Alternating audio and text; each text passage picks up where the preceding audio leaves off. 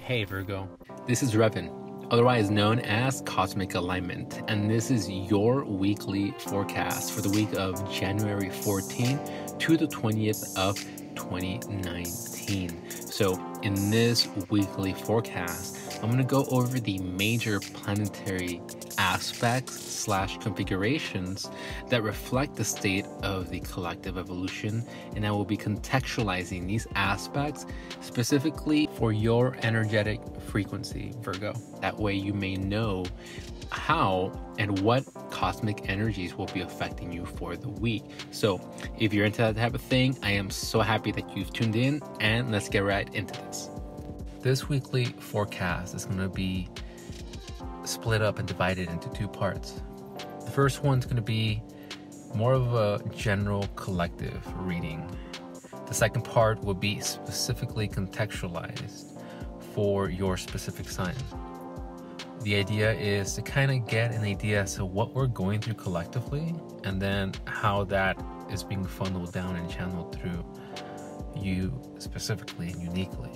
And in that way, we become aware of our role within this collective evolution that we're all participating in. Okay, so let's get into part one.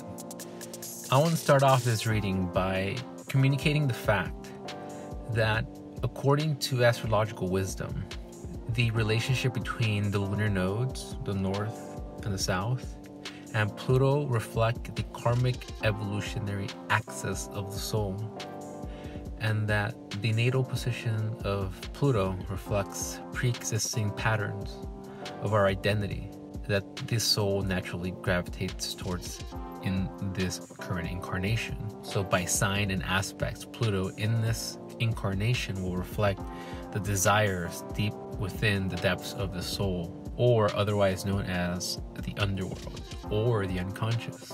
Like the moon, the lunar nodes reflect the ebb and flow of our indwelling spirits, past and future interplay and dynamic in the present, and only indicate vessels and containers, ways of being, patterns and behaviors that we can use and have available to actualize and to fulfill our soul's evolutionary intention. The South Node reflects the previous egocentric structures, our inherent abilities in this life in our present incarnation.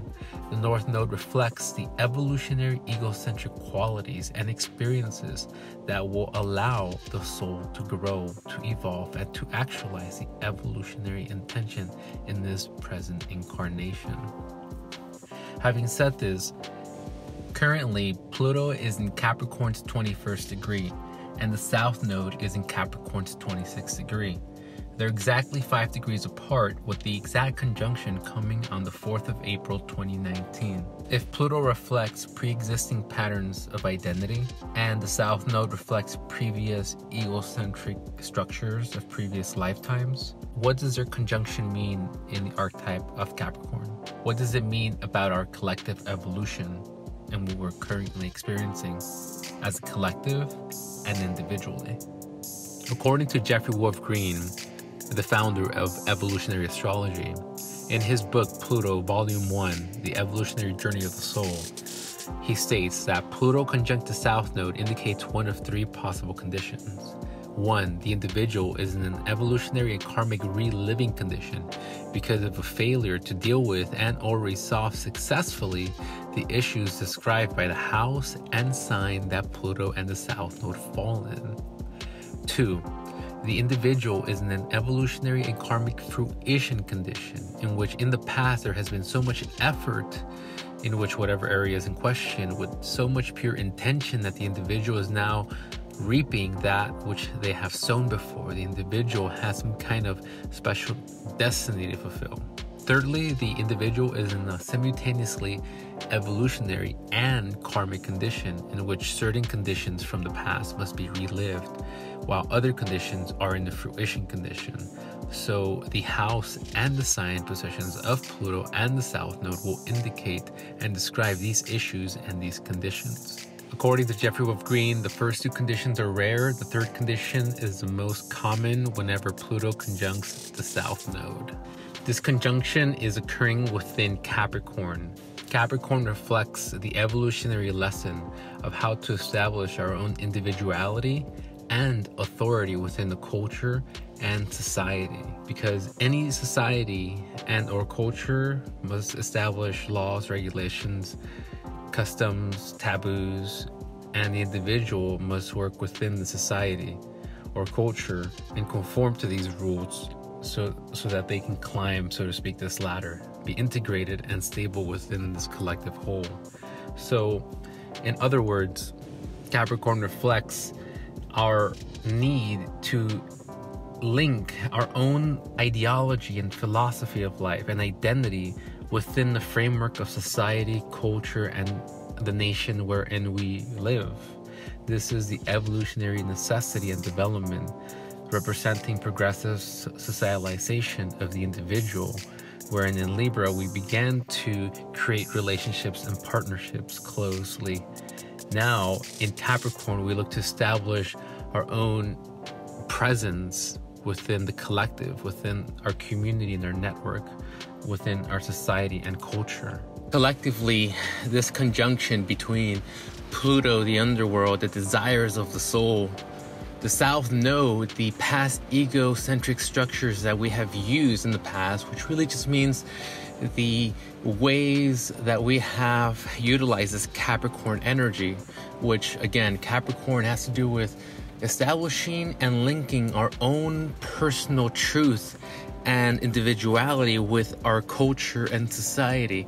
It's basically that polarity between our selfish need and wants and hobbies and the demands of this culture and the world that we live within. Let's remember that Capricorn works with Saturn. Saturn is the law of the four elements it is the life lessons, it is karma, it is the responsibilities and the duties and the dharma truly of the soul. This is why Capricorn climbs that ladder, whichever ladder you wish to climb and integrate into that community, that culture, and its standards and culture and laws and regulations that uphold its own structure are the laws and regulations that you must learn to integrate and link your own individuality within.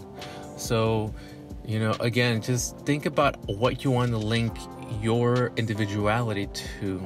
For example, as a musician, how do you want to, you know, actualize that truth, that individuality, that self expression within culture? Now we know we have social media platforms that allow us seriously like vertical you know links and connections to our audience. You don't have to go through some you know marketing company or some big record company to be able to be distributed worldwide. You have the internet now you know this is basically learning to live within our culture and society. And of course this applies to you if you live in the western world or you know in the you know modernized world of 2019 of course. And within that culture and society there are certain you can say ways of being that you must learn to integrate to be able to succeed in that culture and or society. And this is what Pluto slash South Node slash Capricorn are reminding us that we must link our personal truth, our personal individuality, those passions with our culture our society and the community which we live in. We must we must actualize that individuality and link it and make it practically useful in our society and collective role. This is that call to action from spirit currently to either revisit and relive the failures that we you know have experienced in the past and that therefore we experience currently because we need to alter the source of it which is our behaviors or patterns that don't promote you know or support our achieving in the society. You know we must relive those and you know karmically have to release ourselves from those bondages by transcending that way of being or two, we're either having this fruition process where you know, we might be experiencing achievements, fulfillment, abundance, prosperity in terms of when we've linked our personal truth and individuality with our society and our culture. Or thirdly, a combination of the prior two, wherein in some aspects of our life, things seem like they're karmically having to be relived, to be learned, and to be released. And secondly, there's also other aspects which we are like, whoa, we just knew it. We just knew that, you know, if we express ourselves in this area, that like it would just rain upon us with abundance. We just knew that like that was the key to unlocking, you know, our happiness or just living our best lives. And the universe responded positively. And in other areas,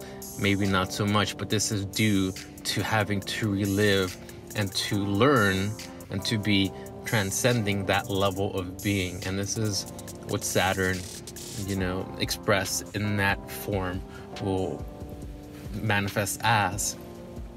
So, to summarize it, this energy collectively is calling us back to this need to link our personal individuality with our social role and or cultural role. How do you make your purpose link to society and practically useful for the collective is the question of this conjunction. And again this is not a conjunction that's just occurring this week or last week and this week and next week. This has been in at play. Pluto in capricorn has been exposing all the ways that we've failed to do so to link our personal evolution and individuality with our culture and society. And maybe this is why it's a big conversation right now to embody your truth and not to hustle, but to align. At the same time, we see Uranus forming a square between the lunar nodes, and at the same time, representing this new innovation of self currently in the process that is at one end releasing old ways of being and challenging that status quo security that we've had for so long, and at the other end, challenging us to push ourselves forward, to propel ourselves, progress ourselves, and reinvent our own personal identity. Last week on the 11th of January, the sun, the spirit, the center, the, the heartbeat of the solar system conjunct and illuminated Pluto, the underworld, and Capricorn. This week on the 16th of January, the sun illuminates the south node, the dragon's tail, our past based egocentric structures in Capricorn. We are currently, you know, being either one exposed in terms of our failures and being called to again put our efforts into linking our personal individuality with our with our society, our culture, and our community, and or being shown how you know we have accomplished to do so, or somewhere in between where we can see like day and night where we are shining when we're expressing our individuality in our culture and society, and to where we are not. But there is like always, self reflection and self adjustment that is then required whenever Saturn comes back around to reflect what is not working in our own reality. This is the collective reading for the first part of this weekly forecast. Hey, Virgo. So, this is the second part of your weekly forecast for the week of January 14th to the 20th. So, this week we see no planets in Virgo. However, we look at the planet of Mercury and we see that it is in Capricorn, in the center of this whole little vortex of energy happening in Capricorn. So, Virgo, you have a very sharp and keen mind that's very grounded and practical naturally. With all this energy stellium in Capricorn and Mercury, the intellect, the mind, which rules your analytical skills and your way of thinking, Virgo. In Capricorn, with this whole stellium, is drawing your own thinking towards the area of thinking about your long term plans and objectives it's about thinking about what do you want to accomplish for the next year. This is, yeah, a collective energy. But for you, it's making your way of thinking very, you can say, self reflective, very self contemplative. You're capable of sitting down and taking notes longer and outlining and meditating for longer periods of time because there's this slow moving influence of Saturn, this patience of Saturn seeping into your way of thinking, having you think about long term objectives and goals. And it's important to remember, Virgo, that you can accomplish whatever you set your mind to. Sometimes Virgos have what is called commonly an inferiority complex, and this is because in Leo, the previous sign, we become full of ourselves, narcissistic. We become so, you know, drenched in our own uniqueness and light because that's necessarily through evolutionary necessity that is required out of Leo to be ruled by the sun, our divine self, our uniqueness, our own purpose. But in Virgo, there's a humbling effect happening with the ego. There's a purging and a detoxing of all that narcissism and selfishness. And sometimes it can go too far into critical self fault finding and inferiority complexes occurring as a result of this perfectionist streak that goes too extreme into the area of fault finding and always nitpicking at the self and never being satisfied with the self. So, in terms of planning out what you can do for the next year, don't underestimate what you can do. You, yes, are learning this evolutionary lesson of purity, of you know, humbleness, of being of service, but at the same time, this is not meaning to say that you are limited in any capacity to be self expressed.